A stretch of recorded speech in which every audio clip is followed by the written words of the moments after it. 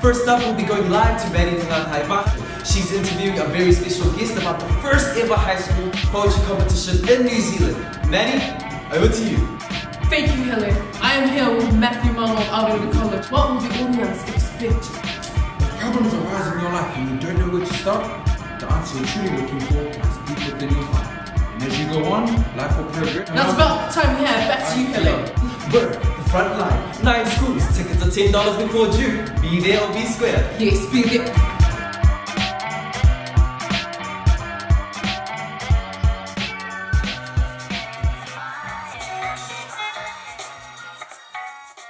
Hi, I'm Mathew. Hi, my name is Hilliard. I'm Maddy. And we're from Aorere College. Um, I'm really into spoken word, I love poetry, I inspiring. I feel like writing it out and saying it is just a form of release. For me, it's like another alternative to drugs and alcohol. I just feel like there's um, no filter about what you can't say. Or I feel like no one will judge you and you'll feel more comfortable about your personal stories. And yeah.